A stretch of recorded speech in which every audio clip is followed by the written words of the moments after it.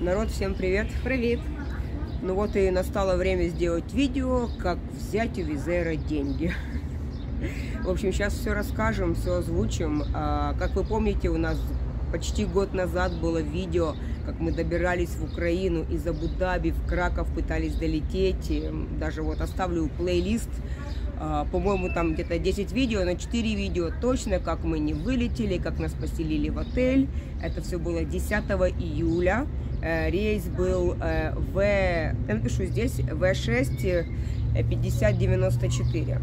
И так получается, все классно, мы регистрируемся в аэропорту Абу-Даби, должны лететь в Краков, билеты недорогие, мы все довольны, идем уже и в зону вылета, и в duty-free, потом на посадку, потом нас довозят до самолета. То есть представили, да, мы уже почти выходить, но стоим 40 минут, нас везут обратно, и, извините, рейс сегодня не вылетит. Вы просто вот наш э, шок тогда представить не можете, потому что в нашей стране война, и мы пытаемся добраться, увидеть родных и близких, и билеты дорогие, билетов уже нету, и там все люди, которые наши летели, украинцы, такие потерянные были вообще просто.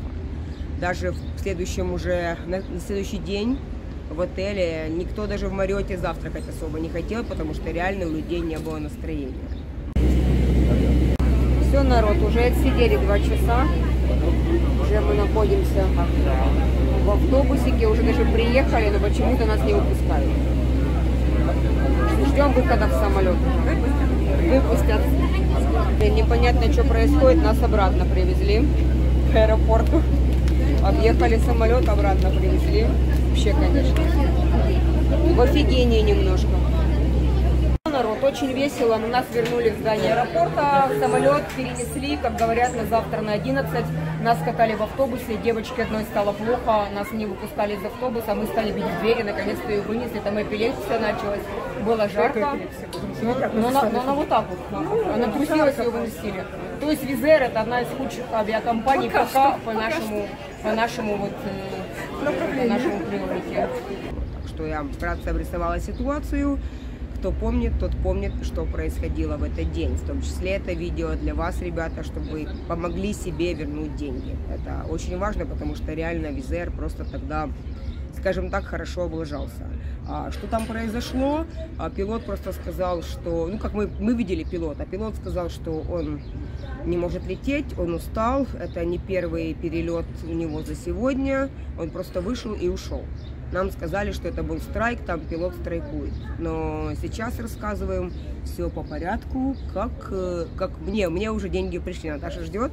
То есть мне пришли деньги, уже можем делать видео. А, ну, на, на следующий день мы вылетели. На следующий день, там еще перекладывали на пару часов, переносили рейс.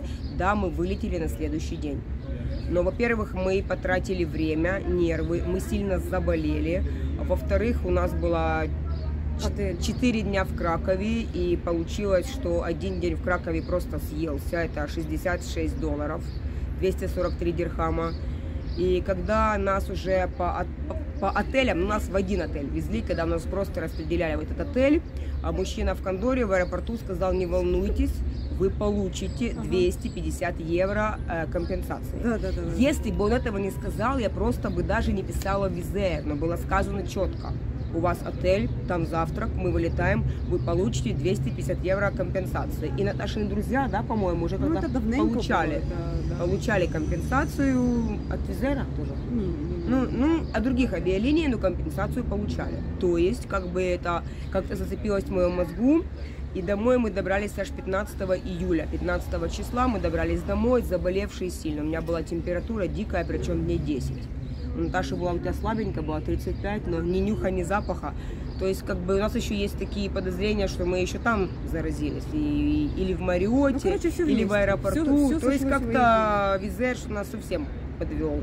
И я написала сразу же, вот больная, там хромая, жалобу Визер написала. Через месяц, 15 августа, пришел ответ, что нет, вы попадаете под категорию чрезвычайных обстоятельств, поэтому компенсация вам не причитается. Что? Вообще-то мы за такси платили, понимаете, что платили за такси 10 долларов туда, 10 долларов обратно, чтобы доехать в отель Мариот переночевать. Я прикладывала все чеки, что даже за такси не консультация, ну извините тогда, ребята. Компенсация. Да. Тогда, Они тебя да, проконсультировали. тогда Вам уж, конечно, извините. И дальше мои действия. А вы знаете, когда вы покупаете что-то или смотрите там какие-то спортивные вещи или там стиральные машинки, вам регулярно эти же спортивные вещи или стиральные машинки условно выпадают постоянно в Фейсбуке, в Инстаграме, в рекламе в интернете. Знаете, когда я купила нам Визер, мне уже постоянно начала выпадать реклама на Фейсбуке и в интернете. Air Advisor. Это такая компания, которая вот занимается этим, возвращает деньги за несостоявшийся рейс, за задержку рейса. Я оставлю ссылку в описании. Это не реклама. Мне за это ничего не платили, просто они Очень вернули жаль, мне мои пожалуйста. деньги. Э, же? Они- Air Advisor, да. Air Advisor. Подумайте, Вот. пожалуйста. Я сделала скриншот, и когда мне ответили, сразу же туда написала, в этот же день, 15 августа, я подала заявку. И мне выпало, да, вы можете подать на 600 евро. На 600 евро.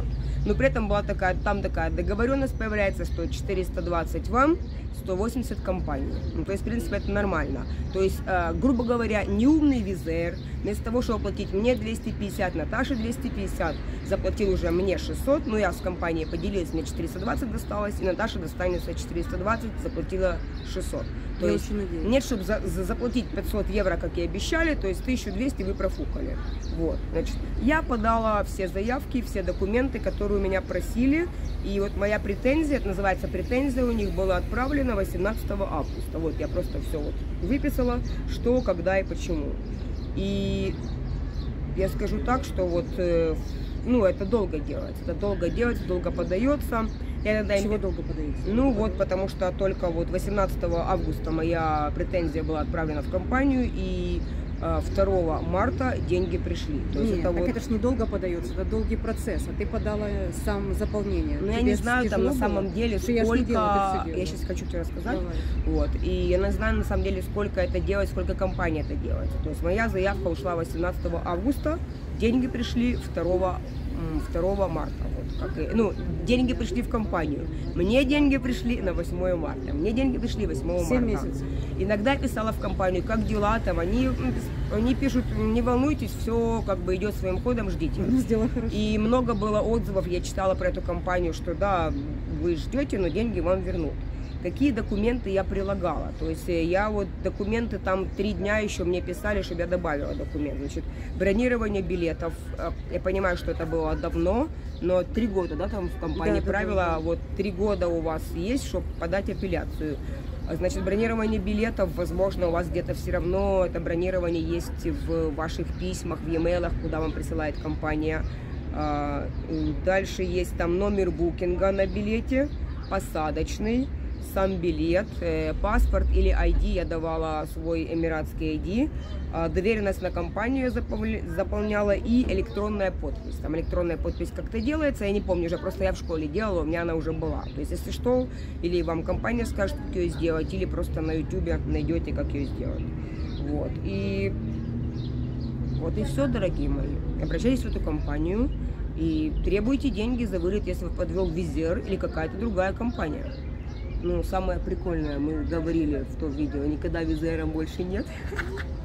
Народ, сейчас такие цены, что проспойлерю, а будет интересное путешествие. Мы возвращаемся домой, ну, едем в отпуск домой. Планируем. ну, Планируем в конце июня из Тома Визер, потому что во Флай Дубае какие-то сумасшедшие цены, 2 500 за один билет. Ну, в Визере хотя бы 1000. 2500 чего? 2 500 дирхам за один билет, а в Визере хотя бы 1000.